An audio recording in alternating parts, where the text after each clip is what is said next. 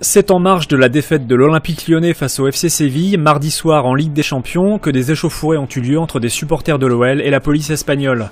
Quelques heures après les faits, le président lyonnais Jean-Michel Aulas parlait sur son compte Twitter d'une agression incompréhensible de la part des gardes mobiles sévillans. Il affirmait également que cinq supporters des Gaunes avaient été blessés. Selon RMC, des représentants du club ont tenu à rester au stade après le match pour alerter les officiels de l'UEFA sur ces événements, estimant que les fans lyonnais étaient seulement en train de chanter sur le parvis du stade quand la police espagnole a soudainement chargé. Quatre supporters ont d'ailleurs comparu devant la justice espagnole mercredi et ont été condamnés à des peines de prison avec sursis et à des amendes. Dans un communiqué, l'OL a tenu à déplorer l'attitude de la police, qui contribue à alimenter un climat de violence dans le football.